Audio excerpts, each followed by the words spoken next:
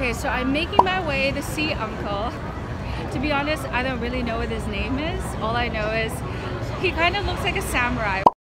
When you see him, you'll know. Um, I just happened to stumble upon him a couple of years back. I've been going to him for a couple of years now, so I'm actually quite excited. I still don't know how to get to him exactly, but um, yeah, I guess I'm just gonna let my gut guide my way. Excited!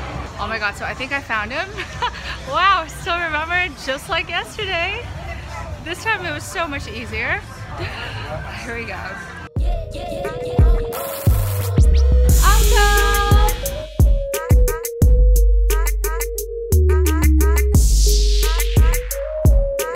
Hi everyone! Okay, so I am in Taiwan. I'm in Ximending, and this is Uncle. Hi!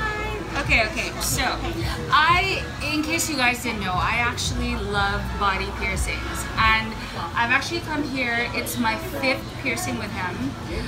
I've, I've had a couple, um, although I'll tell you guys about later. I've had like here, here, here, here. I have so many. I'll show you guys photos.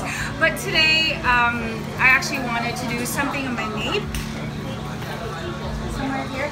Okay, so while he's actually like um, preparing his things, so why do I love piercings? A lot of people think that I love piercings because I'm addicted to the pain, which is so not true because pain means that I do it for the pain, but I do it for the piercing. It's just that it happens to be that it's painful to get the piercing. So it's kind of like it's not about the means to an end, but an end to a means. Get it? Whatever. Anyway, so I'm super excited. Um, I guess when you really want something, it doesn't really matter how painful it is. And the way I always see it is a broken heart is way more painful than a fucking piercing. So you may be asking, like, how many piercings do I actually have? I think I have about 13. I have like three here, one here, have one in my navel. I think the most, uh, I think the most painful one that I ever got was the one in my nipple. I got that in Spain, and um, was really nice. One of my good friends, Danny Aliaga, he knew um, one of his friends, I think from high school or college, like they at that time when I got it, I don't think there was like Instagram or there was, and I didn't have Instagram. We just took a couple of photos. So they did my nape and they did my nipple, and the nipple hurt like, but so worth it. I still have it. It's probably one of my most valued piercings. Um, other than that, everything has come and go. Um, and yeah, I think I'm gonna keep getting them and getting them more and more and more. I actually wanted to get one on my tongue, but because I host events, um, I do worry that it might interfere with my lisp or how I pronounce things, or maybe it might turn off a few traditional clients. So, um, because if you don't wear it for a long time, it actually closes. So, those are some of the things that I consider. Um, the closest I ever got to my face was really here. That was also one of my favorite ones, but unfortunately, I can't get them anywhere else because, for obvious reasons. So, it's just gonna take about a few minutes. Um, okay, so let's talk about my other piercings. The do's and the don'ts. I have one here. You see that scar? I'm showing you a photo right now of where it used to be. But of course, you know, I also had one here you also see the scar. And uh, the bad thing about it, obviously, I'm such an idiot. You know, you put your hand, you put your hand inside your bag, inside your pocket, so it always gets caught, and eventually it snags and it hurts and it comes off, and it's just such a hassle. So always try to put it in places where obviously it doesn't always. Um, it's such a bother. And then I had another one that was right here. Um, I guess because I do a lot of um, at home or facial treatments for tightening, so obviously the skin here gets tight too, and the skin holding on to the, the, the rod actually got tighter and tighter and smaller and smaller and smaller until eventually like once again it just came off.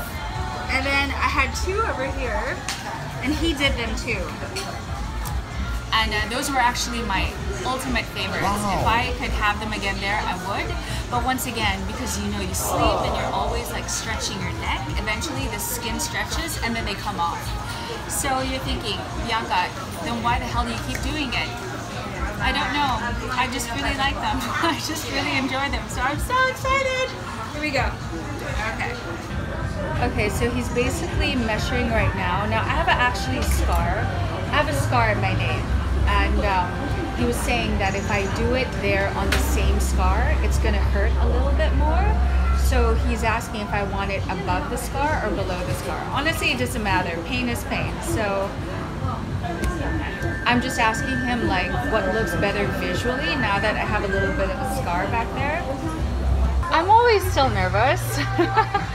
it's the I don't really think it's painful. It's more the pressure of the clamp. It's the pressure of his hands. Um, and it's the anticipation that like, uh, yeah.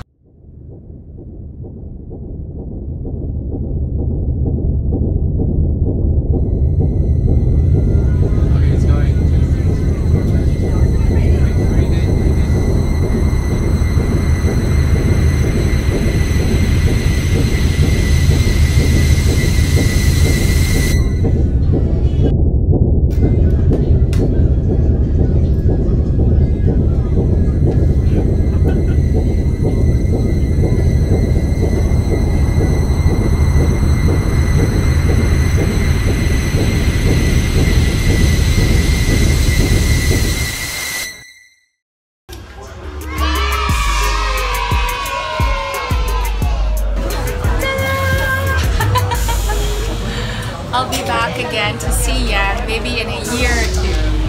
Every year, new piercing. Every year. Keep on going.